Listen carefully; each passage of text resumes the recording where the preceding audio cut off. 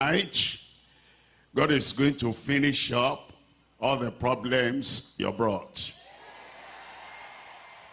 And whatever you have not got on day one, day two, day three, day four, day five, uh, today. Look at somebody there and say, today, the Lord is going to accomplish everyone in your life. Keep on standing. Father, we thank you. Lord, we worship you. Great, mighty God, we're asking, Lord, that tonight you do wonders in every life. Confirm everything you have promised. And we will never be the same. In Jesus' name. And the people of God said, and heaven unites with you to say, Amen. God bless you. You can sit down. Tonight, we've been talking about Jesus, the all-sufficient Jesus. And we've looked at John, the gospel according to St. John, in the evenings at the crusade. And we've gone up to chapter 17. Now, we come to chapter 18, chapter 19, chapter 20, and chapter 21. And today we're talking about Jesus, the Redeemer, seeking to restore, to renew, and to recommission us. He comes and he seeks for you. He looks for you. And he wants to restore you. Every height you fell from, you'll go back to that height. Every good thing that you strayed away from tonight, you are returning in Jesus' name. It comes to restore. Number two, it comes to renew. It renew the strength of the spirit in your life tonight in Jesus' name. And it comes to recommission you. That means the commission God Almighty had for you from all eternity. And you've led that commission. Tonight is a recommissioning night. He recommission you. He recommission me. Amen. Once again, the message is Jesus, the Redeemer, seeking to restore, to renew, and to recommission us. There are four things we're looking at. Number one, we're looking at the righteous carrier of our sins. He carried our sins away. He took everything, literally, everything you call sin. He came to take and carry out of your life. The righteous carrier. Number two, the reproached Christ. The reproached Christ. That means all your reproach, all your shame, all the various things you've done that you shall brought earthly shame and eternal shame, Christ has borne that for you. For me. Number three is the risen conqueror. Risen conqueror. He rose. He rose from the dead. And it brings that resurrection power also into your life, the risen conqueror. Number four is the reassuring captain. He comes.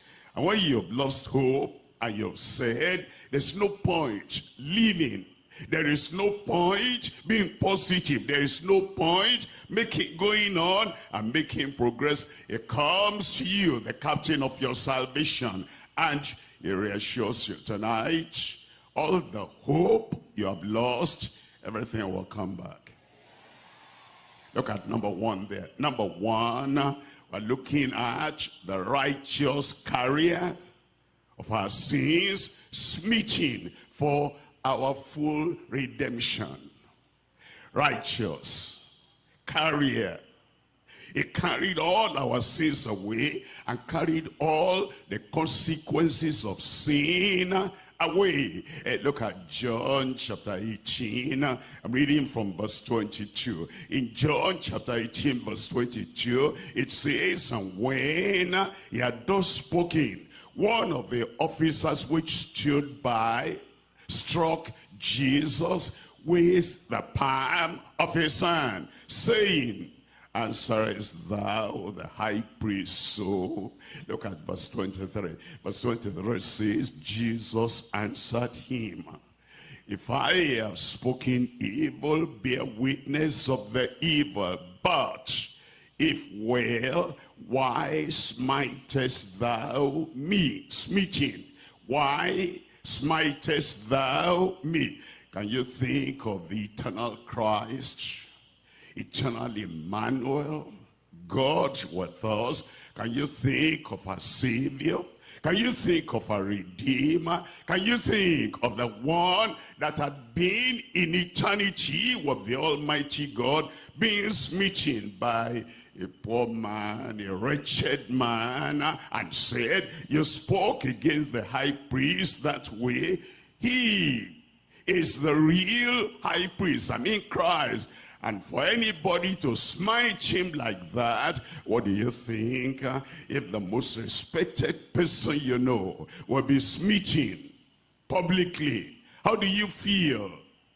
But here is the King of heaven, the King of saints, and the Lord of lords being smitten. Why? Why was he smitten? Isaiah chapter 53 and I'm reading from verse 4. It says in Isaiah 53 verse 4, Surely he has borne our griefs. That's the reason why he came to bear your grief and carried our sorrows. Carried. That's why we say the righteous carrier of our sins. Yet we did esteem him stricken. Look at the next word there. Smitten of God, smitten of God and afflicted. Why was he smitten? Publicly like that, in a shameful, reproachful way. Look at verse 5. In verse 5 it says, But he was wounded for a transgression. Because of your transgression, he was wounded. He was bearing the wound you should have borne. He was bearing the judgment that you should have borne. It says he was wounded for our transgressions. He was bruised for our iniquities. That's it, that's it. Because of your iniquity. Normally, you should have taken the bruises. You should have taken the smiting. But the Lord said, don't worry, I'll bear it for you. I thought you'd say amen there. The judgment, he said, I'll bear it for you. The yoke, he said, I'll bear it for you. All the agony and of the consequences of sin you have committed, he said, I'll bear it for you. I need to send a thank you Glory to the Lord. Praise the Lord to heaven because he bore all my shame. He bore all my griefs. He bore all my sorrows. He bore all my sins. He carried them and carried them away. You will not carry it again. You will not be burdened by it anymore. And then it says, the chastisement of our peace was upon him. And then look at this. It says, with his stripes. Tell me. With his stripes we are healed. I am healed. I said I am healed. Say it for yourself and find it true by his stripes were healed. And look at verse 6. There's something important I need to point to you in verse 6. In verse 6. In verse 6. Look at this. At the beginning, there's the word all. All. No exception. At the end of that verse, it says all. No exception. In the middle of that verse, it says everyone. Look at that. Look at that. That means today you are the candidate of the salvation of the Lord. Candidate of the forgiveness of candidate of the grace of God at the beginning all at the end of that verse all and in the middle of that verse everyone let me read it to you now all we like sheep have gone astray all we have turned everyone that's still all to his own way and the lord has laid on him the iniquity of us all give me a good amen he laid on him he laid on Christ. He laid on the one that came to carry all our sins away. He laid everything on him. He took it from you, sin.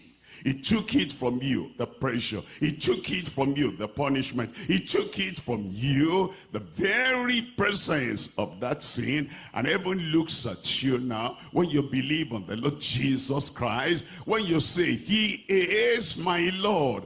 All your iniquities, all your transgressions, all your sins are taken away. Taken away. Taken away how many of your sins? How many of your iniquities? How many of your dead, dead misdeeds? All taken away. I announce you're free.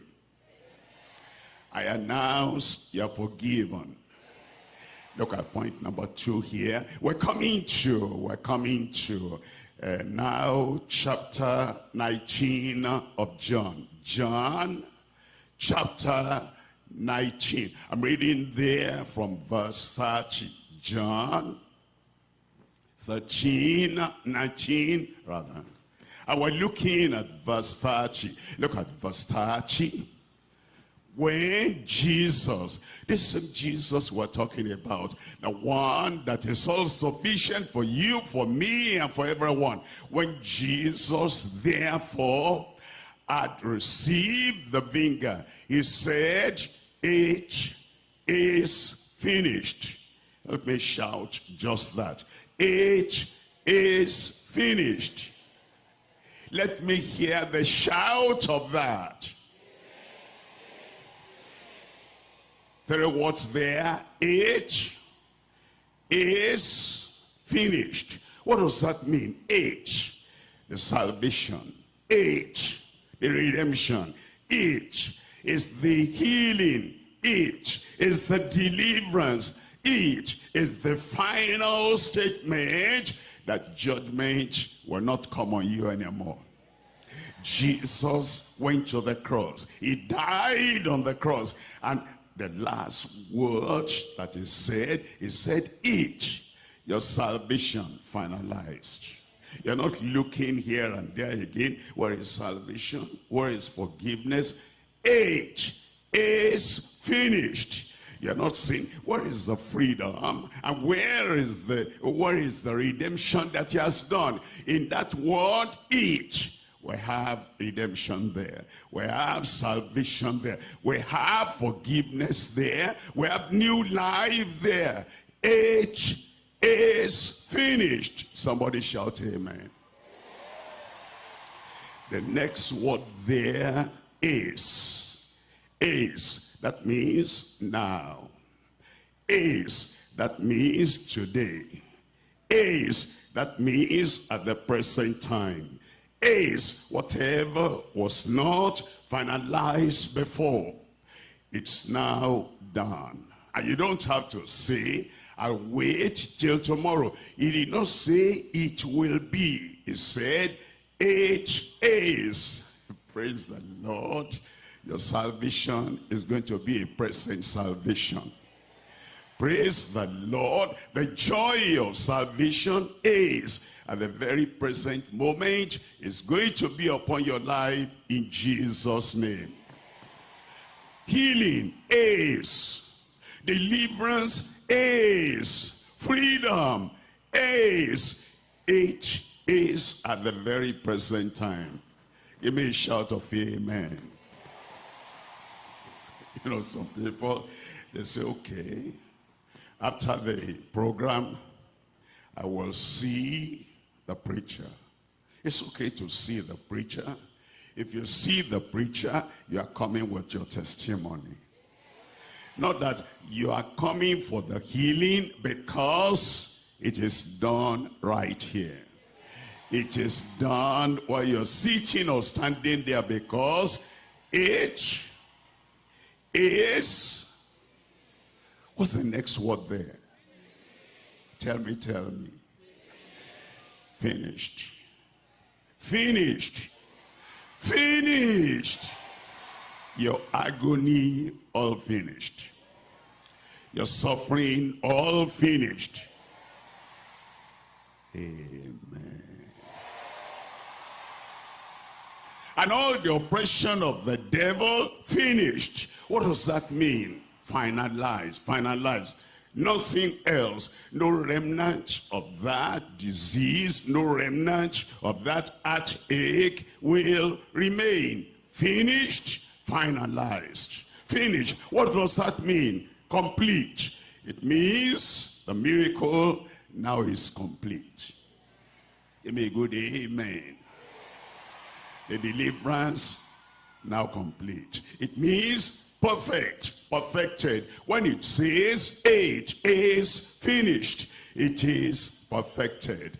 And I see you tonight there, you are receiving that finished healing, that finished miracle, that finished, finalized, complete, perfect solution to your problem tonight in Jesus' name. It is finished. The condemnation of my sin, it is finished. The judgment over my sin, it is finished. The weakness of my past life, it is finished. The bondage that you're at, it is finished. Shout, it is finished. Believe it as you say it, it is finished. Understand the experience comes to you as you say, it is finished. It is finished. It is finished. I come into point number three. Point number three, the risen conqueror bringing us redemption and righteousness. The risen conqueror. And because he has risen, he has brought something. Look at John chapter 20. And I'm reading from verse 1. John chapter 20 verse 1. The first day of the week cometh Mary Magdalene early when it was yet dark unto the sepulchre and sees the stone taken away from the sepulchre. The stone is rolled away. I said the stone is rolled away. Many people ask, how, are you so sure that Jesus rose from the dead? Number one, the soldiers were guarding the place. That they will not allow any friend, any disciple to come there. And one friend, one disciple couldn't have rolled away the stone. Those soldiers were guarding the place. Then, earthquake from heaven came and rolled away the stone. You understand? Those soldiers were military men on earth. But the one that came to roll the stone away was from heaven. And then when Mary got there and the rest of the people searching for him, they found the stone rolled away. Nobody could have done that. Not only that, number two, the soldiers that were there, when that angel came from heaven and rolled away the stone, they fell flat on their faces. The power of resurrection overpowered them, overcame them, and threw them lying on the ground. And those soldiers had they had no they had no doubt that Christ rose from the dead. Not only that, if you read the whole chapter, uh, the disciples came, Peter and John. Peter ran and John ran beyond him, and they entered the tomb, and they found an empty tomb. Nobody in there. They found an empty tomb. The testimony of those people that found the empty tomb that shows that Jesus was risen. Not only that, the soldiers went to the powers that be. They went to the people that appointed them there and they said, you know what? Jesus rose from the dead. They said, shh, stop, don't say that.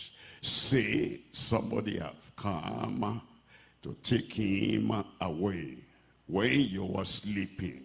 Isn't it a crime for those soldiers watching to even accept we were sleeping, sleeping on duty. Those leaders, they knew that Jesus rose again. And you know like I know, and I know like you know, that Jesus Christ who died and who was buried, that he rose again. I said he rose again. The disciples were locked behind closed doors.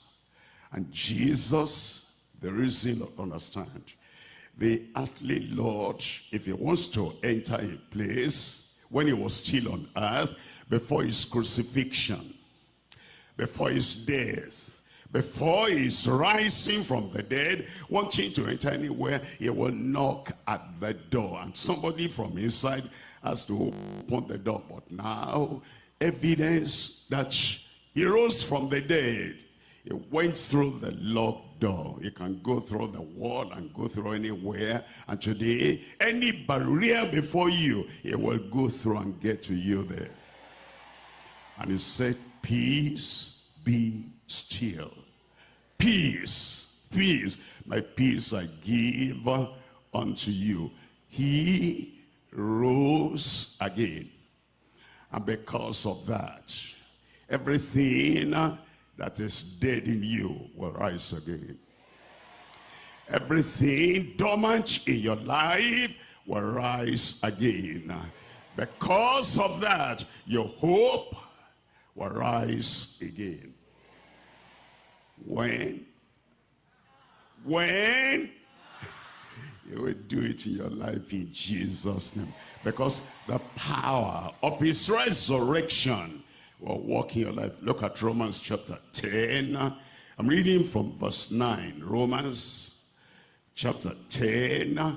We're reading from verse 9. It says that if thou shalt confess with thy mouth the Lord Jesus and shall believe in thine heart that God has raised him from the dead thou shalt be saved. Give me a good amen. It's asking us not to have blind faith. I believe, I believe, I believe. No. It says, consider the stone rolled away. Fact. It says, consider the empty tomb. A fact. It says, consider the falling down of those soldiers when the angel came from heaven. That's a fact. It says, consider that those um, soldiers went to the leaders in the land and they said, that man is risen. That's a fact.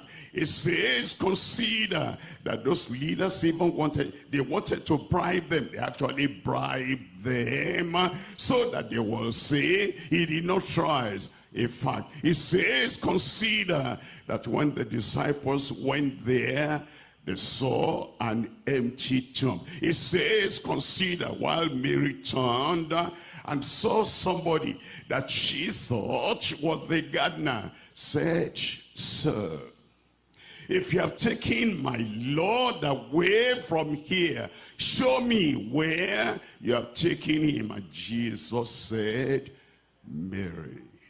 And her eyes opened. And she knew that it's a fact. It's a fact. What's, what he's saying is, when you see a fact, whoever you are, well, will you not believe the fact? It says, when you know this is for real, will, will not you believe that? Somebody says, I'm a scientist. Yes, I understand. We scientists will work with facts. And I showed you the facts now. He now says, if you have the courage to believe and to confess with your mouth the Lord Jesus and shall believe in thine heart that God raised him from the dead tonight thou shalt be saved Look at verse 10. It says in verse 10, For with the heart man believeth unto righteousness, and with the mouth confession is made unto salvation. It's just saying what you believe in your heart, confidently say it out. You know, there was, there was a time that many people in the world, they believed that the world was flat. Not like a globe, flat. As if when you are walking on the, on the earth, you will soon get to the edge and you fall over the cliff. But somebody discovered it is round. It's a globe. And because he knew that was a fact, he said it, and the people who have not investigated, he said, no, that cannot be. And eventually, he kept on saying uh, what he believes. You must keep on saying what you believe. That Jesus is Savior, and that he rose from the dead. He says, if you believe it in your heart, you'll confess it with your mouth, and salvation is yours salvation is mine. Because I believe in my heart that he rose from the dead. He became Lord of lords and King of kings. And I believe, because I believe, I say it with my mouth, and salvation is mine. Redemption is mine. Salvation is yours. Somebody shout amen there. We're coming to number four now. Number four the reassuring captain, broadening, the recommissioning of the restored. Well, the story here is this. Peter, because he knew he had disappointed the Lord, the disappointment grew to discouragement. And then he told the others, he says, I go a fishing. Nothing wrong with fishing, but the problem was with him, he had dropped that before. He had given up that before. And the Lord had given him the promise, I will make you not fish a fisher at the sea, but fishers of men. He abandoned God's call for him because he felt she was a disappointment. And because he felt discouraged, and the other people also said, we go with you. And became a stumbling block to other people. You will not be a stumbling block. Your vomit that you had dropped before, you will not swallow it back again. A good, good amen.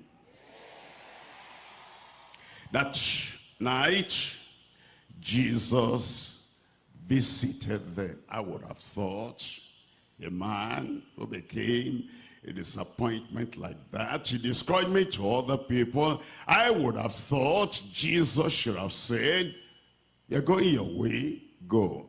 But Jesus never abandons a discouraged person.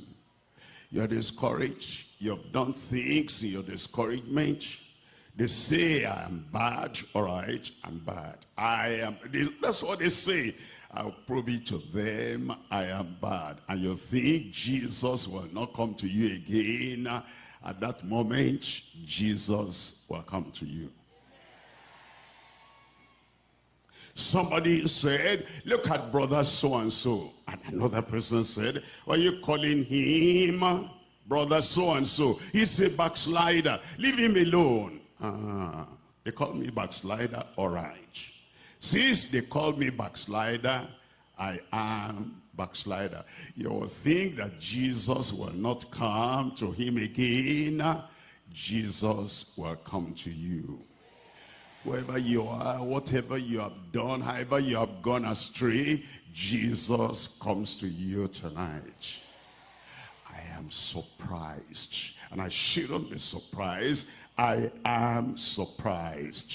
When Jesus got there, he didn't call all those disciples, seven of them all together, bunch of backsliders. No, Jesus never uses any bad language for ever anyone. No matter where you have gone, what you have done. He says, children, do you have any bread? Children, do you have any bread?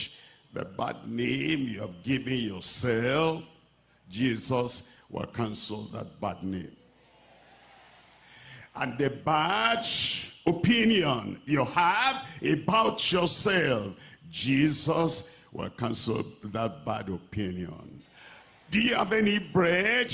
And they said, no. He wanted them to remember. He wanted them to remember that what they were at the first time when he met Peter, when he met James and John, they had caught nothing. They had gone back to that situation. But he will help them. He will help them. That's why we love Jesus. He will help you. Tonight, he will help you. He said, cast your net there. And he didn't argue.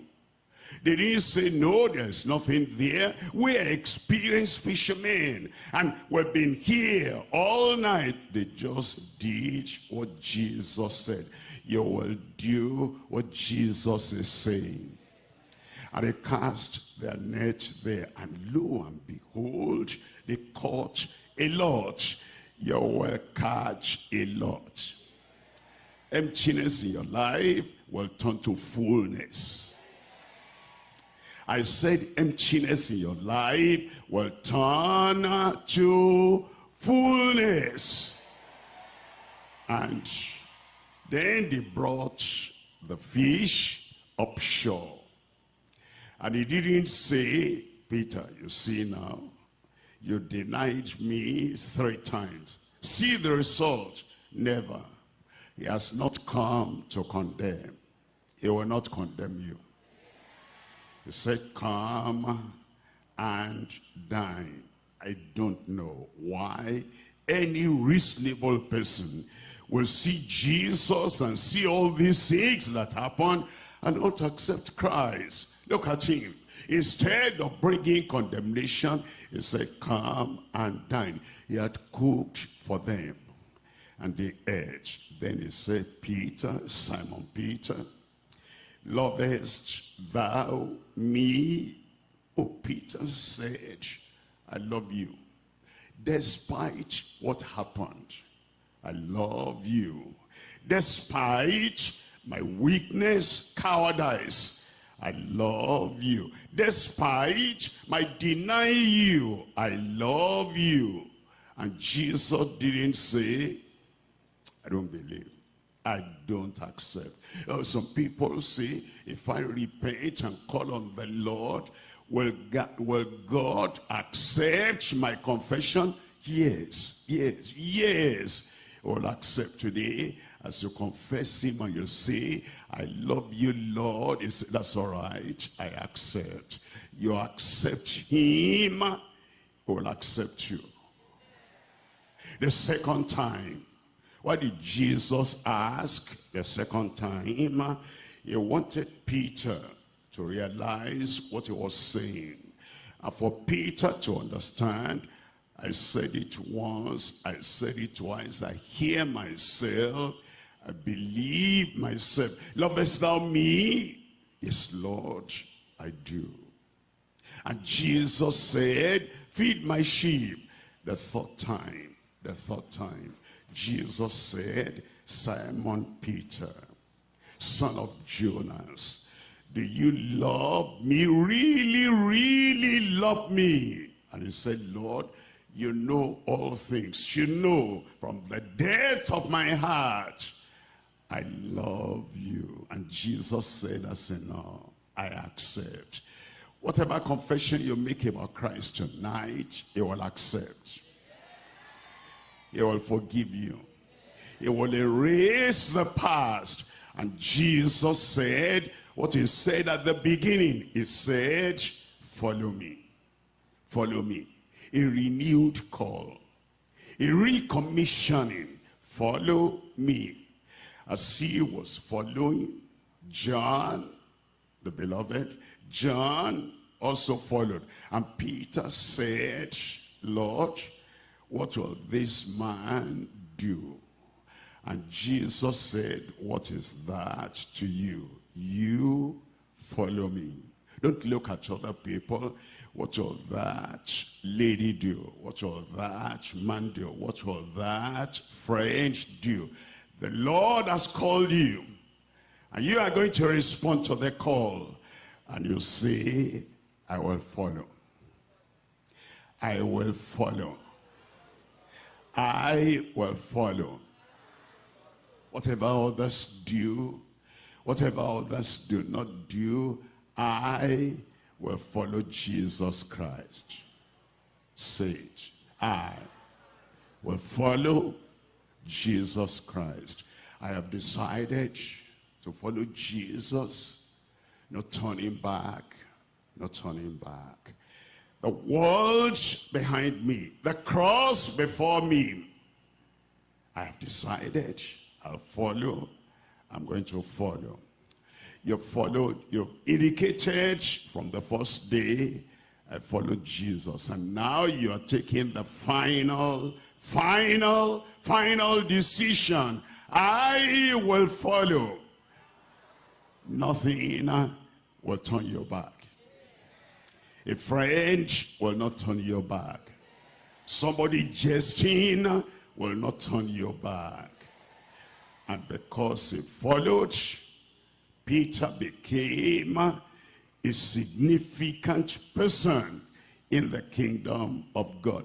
The decision you make for Christ tonight, turning away from everything of the past and turning onto this new face in Christ will make you significant in life. Significant for life. Significant throughout your life. And everybody said, it's bowed and eyes closed. It's bowed and eyes closed. This final day, you're taking the decision I follow Christ. I turn away from the past. I turn to Christ, my Savior, the risen one. As you are taking that decision, you say, I'll follow. I'll follow. And I'll not turn back anymore. I'll follow. Then restoration will come. Salvation will come. The blessings of heaven will come upon you. Anywhere you are, raise up that hand. You're saying, I'm following Christ. I am following Christ. Anywhere, anywhere, right, left, center, at the back, I follow. Raise up that hand. Online, I follow Christ. Forget your past. The Lord is calling you today. I follow Christ. And over the television you are watching, over the radio you are listening, I'll follow. Just raise up your hand there. God bless you. If you're raising up your hand, please stand up. No shame. Stand up and say, I follow. By your standing up, you're declaring whether others follow or not, whether others agree or not, whether others join me or not. This is my decision. I follow Christ. As you're standing, tell the Lord quietly there, Lord Jesus, I thank you. You were crucified for me. You died for me. You are buried for me. You rose again for me. And now I've decided I'll follow you for the rest of my life. Amen. Amen. Keep on standing. We're praying, Father. We thank you for the call that has come forth. We thank you for the faith you put in the heart of the people who are standing. They know that Jesus rose from the dead for a fact. And they are believing that fact right now. Lord, I pray new life will come to everyone. Salvation will come to everyone. New life and eternal life for everyone standing believing in Jesus' name. Give them the joy of salvation and the new life that comes with salvation. Thank you, Lord. It is done. Salvation is there. Redemption is there. Restoration is there. It's done. In Jesus' name ah, we pray. God bless you. Keep on standing. Ah, our counselors will come to you right now. And they'll take your details. So I will call on our moderating overseer tonight to help us at this time.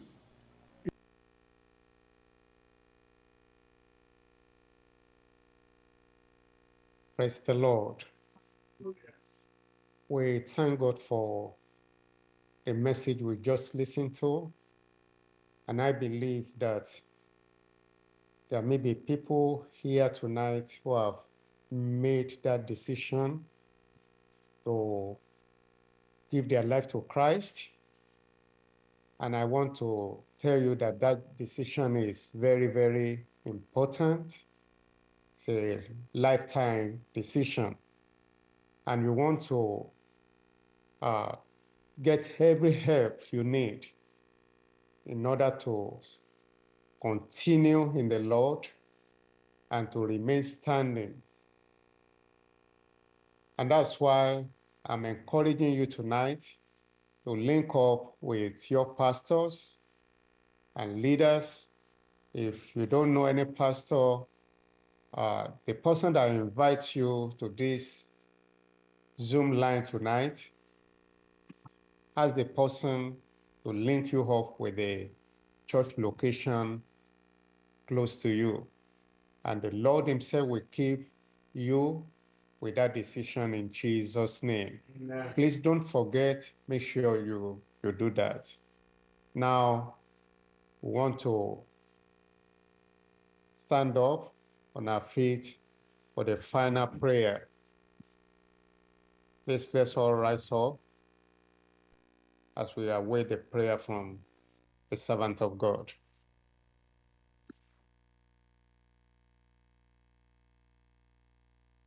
Praise the Lord. Tonight is your night. Jesus will not miss you. You will not miss your miracle. It is finished. Your sickness finished. Your pain finished your disease finished. Every problem, every mountain in your life tonight, finished in Jesus' name. Raise up that hand.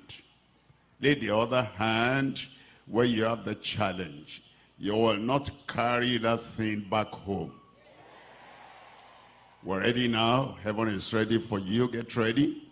Father, in the mighty name of Jesus.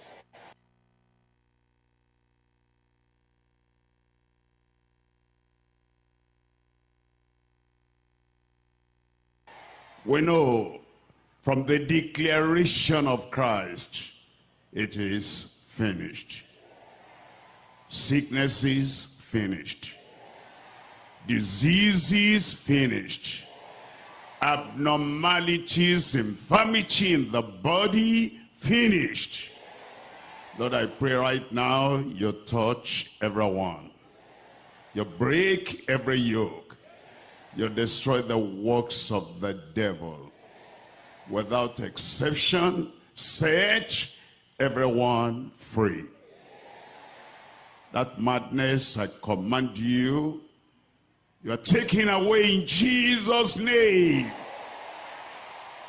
Swelling in your body, vanish away in Jesus' name. Blindness, Lord, open those eyes right now. And deafness, dumbness, make them speak and hear in Jesus' name.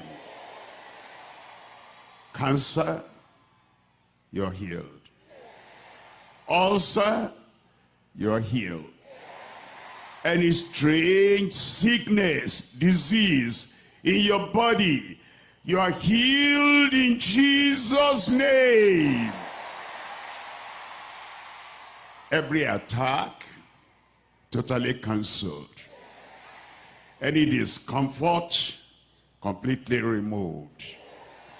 Lord, everywhere now, right, left, center, back, front, online, over the television, over the radio, everywhere, all their sicknesses, infirmities, and diseases, they are finished in Jesus' name.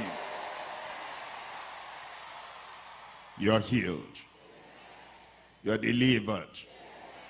You're set free that the manifestation of that finished work in your life right now. I am healed. I am whole. From the top of my head to the tip of my toe. I am healed. It is done. It is done. It is finished. In Jesus' name we pray.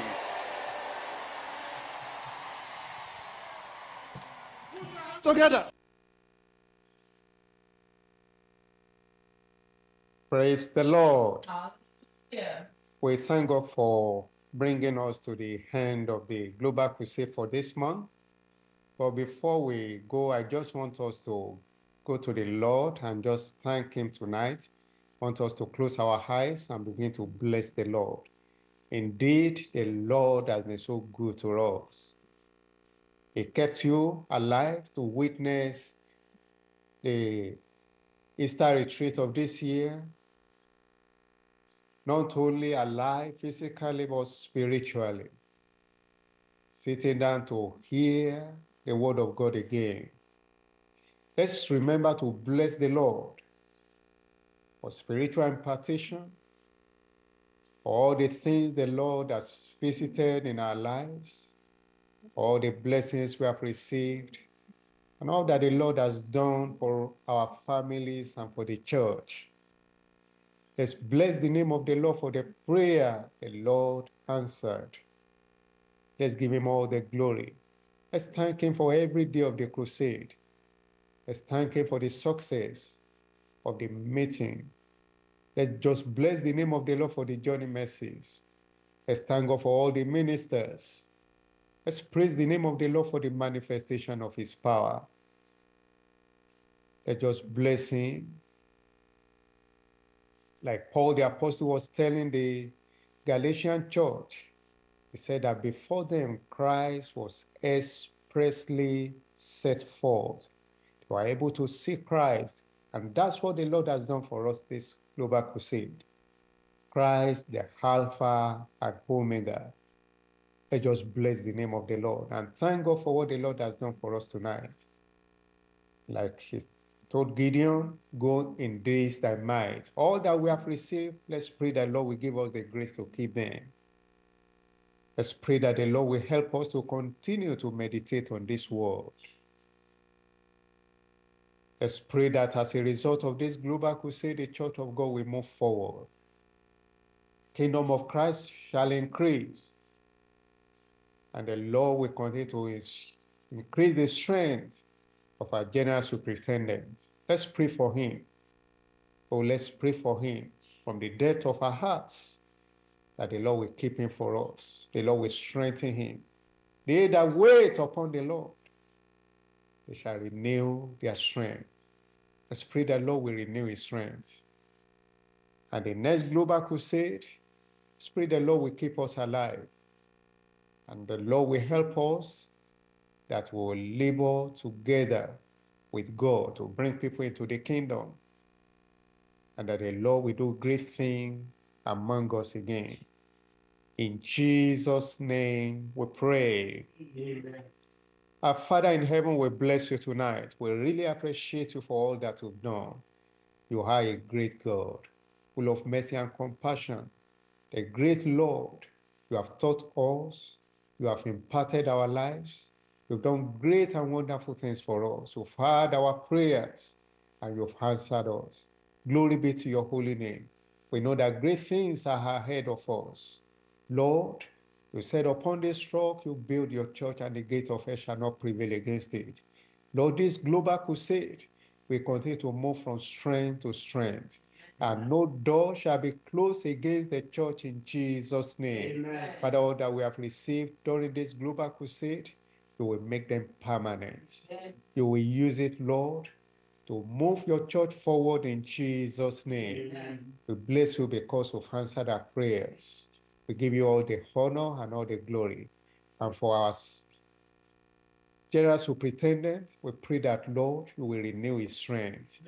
You will give him, Lord, fresh anointing from on high in Jesus' name. Amen. Lord, we pray that all our leaders, you will continue to empower them. They will not be weary. They will not be down. The grace of the Lord shall be multiplied unto them. In Jesus' name we pray. Amen.